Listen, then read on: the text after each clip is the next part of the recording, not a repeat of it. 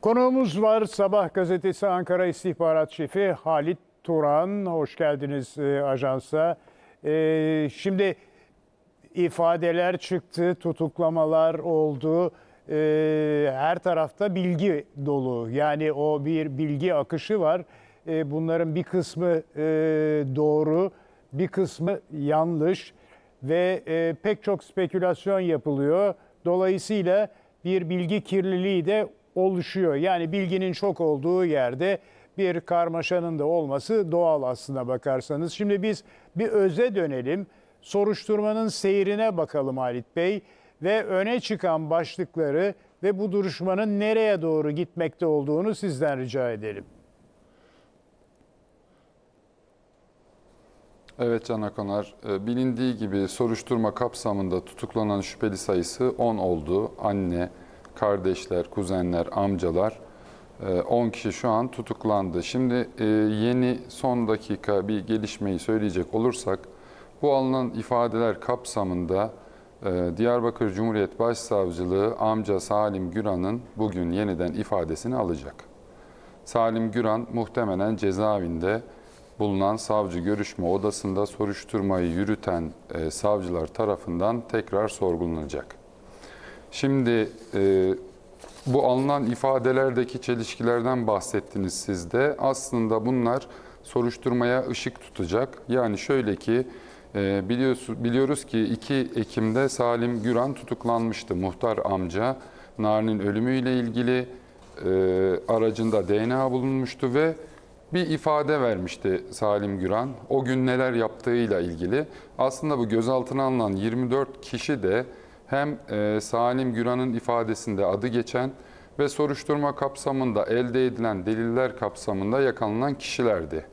Şimdi ben e, Salim Güran'ın e, özellikle hakimlikte Diyarbakır 3. Sulh Ceza Hakimliği'nde verdiği tutuklandığı gün ifadesine e, bir göz attım. Diğer tüm şüphelilerin ifadelerini de okudum. İfadelerin hepsi birbiriyle çelişkili dolu ifadeler. Özellikle Salim Güran'ın o gün tarlaya gittiği, tam Narin'in kaybolduğu saatlerde evine çocuklarını bıraktıktan sonra tarlaya gittiği, burada elektrik arızası olduğu ve yanında iki işçisi ve işçisinin oğlu olduğuyla ilgili iddiaları vardı. Hatta şöyle çok da dikkat çekici bir iddiası vardı. Ben dedi yanımda çalışan Mehmet Salim Atasoy işçi, ayrıca bu işçi de tutuklandı dün gece. Onun dedi iki kızı vardı, tarlaya çalışmaya getirmişti kızlarını. Baktım ben o motosikletle kızlarını götürecekti.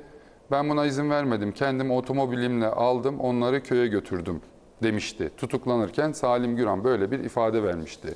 Ancak dün savcılık sorgusunda Mehmet Salim Atasoy, Mehmet Selim Atasoy dedi ki ee, ben o tarihe en yakın iki gün önce kızlarımı tarlaya getirmiştim. Yani olay günü, Narin'in kaybolduğu gün ben kızlarımı tarlaya getirmedim. Yani buradan şunu görüyoruz ki e, Salim Güran ifadesinde e, birçok yalan söylemiş. Yani bunu da nereden görüyoruz? Ya da diğer şüpheliler yalan söylüyor, gözaltındaki şüpheliler. Şimdi bunu biz alınan ifadelerde gördük.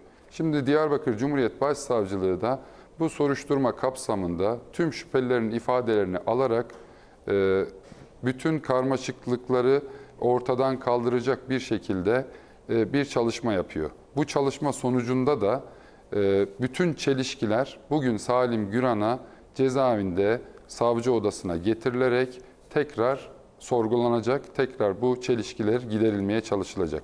Burada tabii en ee, ben ifadeler arasında bir diğer dikkatimi çeken ise Salim Güran'ın eşinin verdiği ifade. Serbest bırakıldı o savcılıktaki ifadesinin ardından.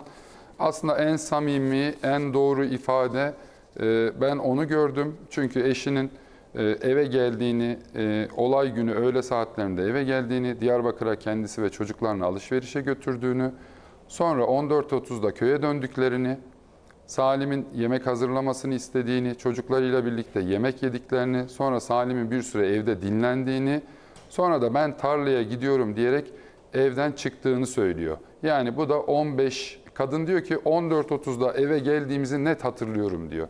Ama kaçta çıktı e, tam bilemiyorum diyor. Ama yemek yedik bir süre uzandı, dinlendi, ondan sonra evden çıktı diyor. Tabii bu Salim'in evden çıkış saati de aslında 15 çeyrek, 15-30 muhtemelen Nari'nin kaybolduğu o kayıp saatlere denk geliyor. Yani bu ifadenin de e, Salim Gü- Güran üzerindeki şüpheleri artırdığı, e, onun Nari'nin ölümüyle direkt bağlantılı mı yoksa Narin öldürüldükten sonra onun kaybedilmesiyle ilgili e, Nevzat Bahtiyar'ın da söylediği gibi bir şeyler yapıp yapmadığıyla ilgili e, büyük ölçüde bu ifade e, bazı şeyleri göz önüne getiriyor. Evet. Şimdi e, şöyle bir e, durum var. Aslında böyle bir soru var zihnimde. Dolanıp duruyor birkaç gündür. Bu cinayet acaba o işlendiği gün anında kararlaştırılıp mı işlendi yoksa herhangi bir sebeple daha önceden e, planlanmış olması ihtimali var mı? Size nasıl geliyor?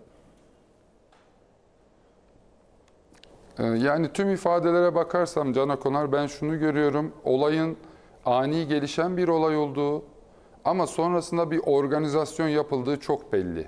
Yani birçok şüpheli WhatsApp görüşmelerini silmiş, telefon kayıtlarını silmiş. Kuzenlerden birine Salim 17.57 tam saati hatırlayamıyorum ama işte Narin'i gördüğünü söyle demiş. Ee, savcının sorduğu sorular arasında özellikle de aile meclisi toplandı mı? Aile meclisinde bir karar alındı mı gibi bu gözaltına alınan şüphelilere e, bazı sorular yöneltilmiş. Tabi burada e, Nari'nin ağabeyi var 18 yaşında 21 Ağustos'ta kaybolmuştu biliyorsunuz Narin. O gece yani 20 Ağustos gece 12'de abisi Malatya'dan dönüyor. Normalde Malatya'da çalışıyor. O gün gece düğün için köylerine geliyor. Mesela onun kolunda ısırık izi var, sırtında tırnak izi var, gözünün biri morarmış vaziyette Narin kaybolduktan sonra. Yani savcı bu sorular üzerinde çok durmuş. Yani bu morluk üzerinde özellikle. Yani Mısır koçanlarına çarptım ondan olabilir demiş. Kendimi yumrukladım. Ağlarken kendimi ıstırdım. İşte sırtımdaki e, çizikler, e, bazı e, çalılara takılmış olabilirim. Bazı yıkık evlere girdik çıktık narini ararken bundan oldu diye bazı şeyler söylemiş.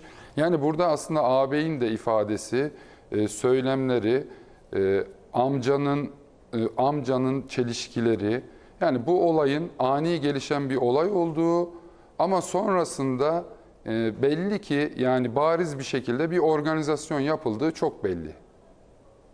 Evet.